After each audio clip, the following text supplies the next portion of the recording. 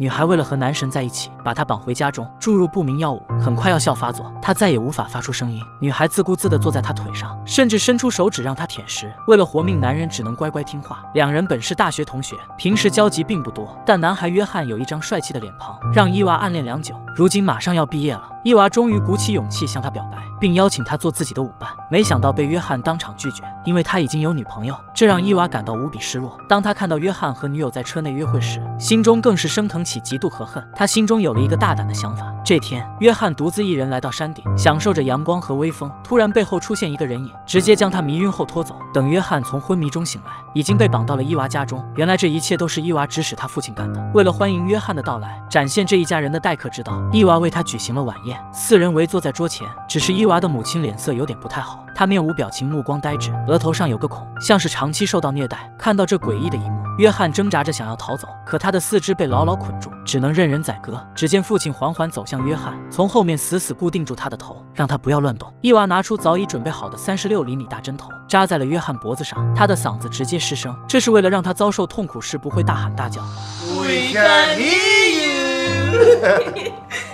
接着，伊娃坐在了他的腿上，让父亲拍照留念。一切结束后，几人开始用餐。此时的约翰只想快点逃离这个鬼地方，哪还有心思吃饭？一旁的伊娃母亲依旧神情呆滞。伊娃询问自己和母亲谁更漂亮，父亲表示你俩都是世界上最漂亮的。他显然对这个答案不满意。看到母亲不吃饭，他拿起一根鸭腿拼命往母亲嘴里塞，还警告她不吃东西饿成皮包骨头，父亲就不会再喜欢她了。旁边的父亲也是一脸惊恐，什么也不敢说。接着他又给母亲灌牛奶，丝毫不顾及母亲的感受。可这还不过瘾，伊娃又将矛头转向了约翰。这个女孩太变态了，她竟然把手指伸进男人嘴巴，强迫他舔自己。男人无法接受，不愿张开嘴。见约翰极不配合，伊娃看向一旁的父亲，父亲心领神会，直接掏出一把锤子摆在桌子上。约翰迫不得已，只能屈服在锤子的淫威之下。他慢慢张开嘴，乖乖吮吸着伊娃的手指。伊娃一脸的享受。约翰借口上洗手间，想趁机逃跑，没想到伊娃是个狠人。直接拿起桌上的牛奶一饮而尽，然后让约翰尿在杯子里。约翰表示有人看着尿不出来。伊娃人狠话不多，警告他十秒钟还没尿，就直接把他废了。父亲就拿着锤子站在身后，压迫感十足。倒计时开始，为了自己能传宗接代，约翰在最后一秒尿了出来，是真尿还是吓尿就不得而知。不过总算是逃过一劫。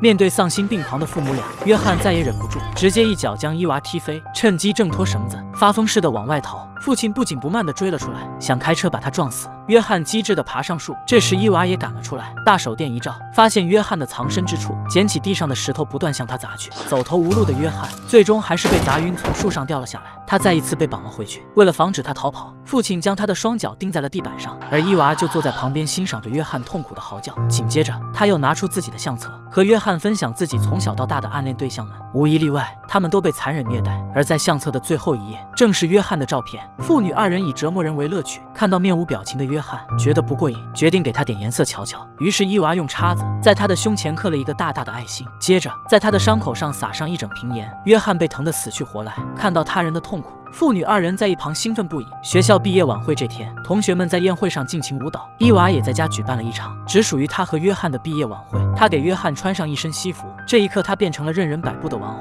晚会结束后，父女二人打开地下室的木板，里面传来低沉的嘶吼。他们把水和食物扔了进去。原来地下室圈养着那些被虐待后活下来的人。父女二人就很喜欢欣赏别人的痛苦。不出意外，而约翰的命运也是如此。这是我见过最硬核的洗脑方式。男人的头被固定住，女孩拿起电钻慢慢靠近，将他的额头钻出窟窿，试图把滚烫的开水灌进去。剧烈的疼痛让约翰拼命挣扎，一下子挣脱手上的绳子，一把将伊娃的父亲推倒在地。还没等他们反应过来，约翰拔出地上的刀，一刀将伊娃的父亲解决。伊娃见状，冲上来和约翰打成一团，可他不是对手，被约翰两拳锤晕过去。紧接着，约翰将伊娃父亲推进地下室，里面被囚禁的人像野兽一般啃食着父亲。约翰看到此情此景，直接被吓呆。这时，被锤晕过去的伊娃苏醒过来，抬起约翰的双腿，将他也丢进了地下室。失去父亲的伊娃悲痛欲绝，逐渐丧心病狂。他决定让自己的母亲去陪父亲，于是来到卧室，直接用枕头将母亲活活闷死。而在另一边，女友发现约翰失踪，正在四处寻找。她突然想起自己男友在失踪前，伊娃曾经约过他。他将这个重要线索告诉了警察。警察迅速出动，来到伊娃的家中查看情况。推开门，却发现屋内一片狼藉，